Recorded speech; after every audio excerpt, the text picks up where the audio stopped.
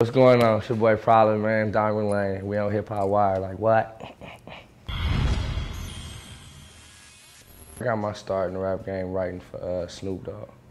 That was like my first check that I got. So that's when I started. Well, uh, welcome to Mollywood the original. Um, right now, this I'm not gonna call it a drug because it's not one, but it's a substance that's pretty popular right now called Molly. So when I when I would use them, I wouldn't say I'm going to get a Molly. I was like, hey, bro, I'm finna go to Mollywood. You trying to come?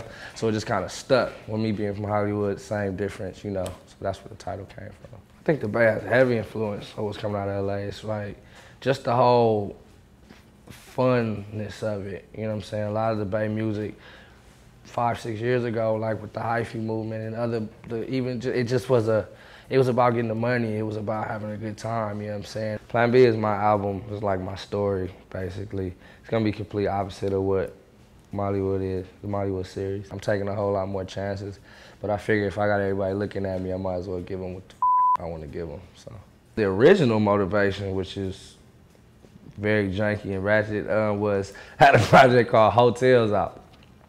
And I, that was gonna be my next project, and I was like, me, a wild night Turner, what would I need the next day? Or plan B. So I was gonna call it that. But it's turned into something totally different. Like it's, it's turned into something else. Y'all will get the meaning though. It's a lot deeper than that now.